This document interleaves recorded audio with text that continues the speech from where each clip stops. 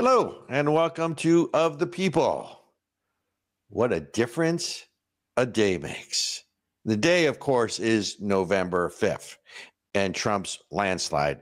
But since November 5th, you have to look at everything that's been happening, right? Nationally, Senator Schumer, that we who's the Senate majority leader, soon to be ex Senate majority leader, we call him Shomer Schumer for those of us in the know, has now done one of the great pivots in history. He is now a champion of bipartisanship since the Trump election. He is cautioning his Senate colleagues to not misread the will of the people.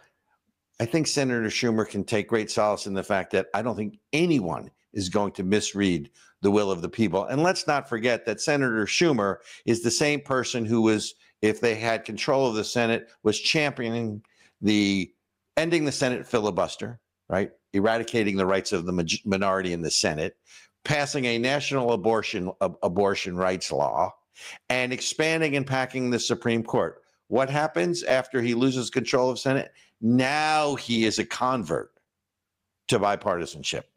You can't make this stuff up. And as far as the law is concerned, in this case, voting law, it seems that voting laws only apply to Republicans, at least if you're in Bucks County, Pennsylvania, which up until yesterday was still counting votes illegally, according to the Pennsylvania Supreme Court in the McCormick Casey recount, which clearly Senator elect McCormick is going to win. And then there's, of course, the fact that Bruce Springsteen, Cher, Babs, Sharon Stone, am I missing anybody? Rob Reiner, Robert De Niro have still not booked their tickets out of the country. And I think we're all waiting for that. But on a serious note, since November 5th, internationally is where you're seeing things really change.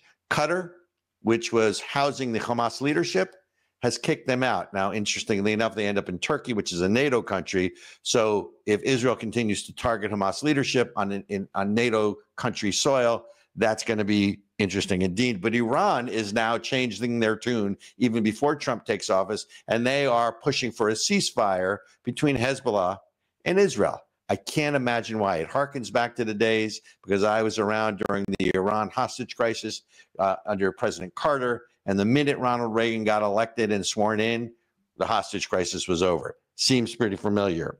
In Afghanistan, the Taliban are now calling for a new chapter of relationships with the US, and even China's Xi Jinping is calling for cooperation between the countries. That one I think you got to take with a grain of salt.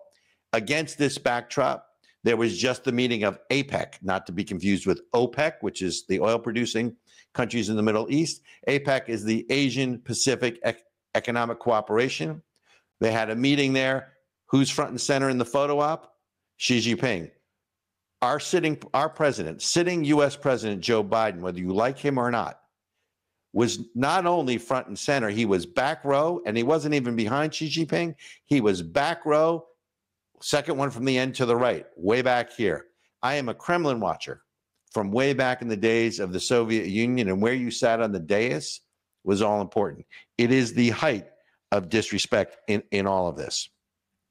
Ladies and gentlemen, we have said this till we're blue in the face that elections matter. But the hard work is now ahead of us. That's the state of the world we're inheriting. And reforming big government and restoring America's foundational values is where the work needs to begin. And if you're looking for Washington D.C. to solve your problems because Trump is going to save us, it's it is hugely important that you have President Trump in office and that he's going to try to rein in big government.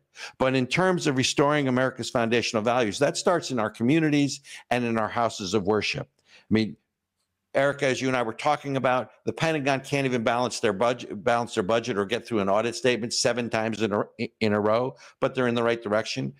You have FEMA, who was targeting or avoiding Trump voters or people with Trump voter signs in terms of doling out aid or signing people up for FEMA aid. And the reason they gave it was really instrumental because Trump voters are, quote, more likely to be hostile.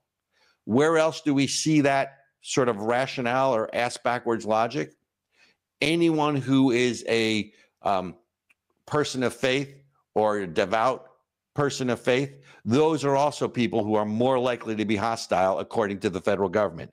The federal government still sees conservative Christians and people of faith as the enemy. And if you don't believe me, search the term Christian nationalism, and there's a new term I just learned radical traditionalist Catholics, right?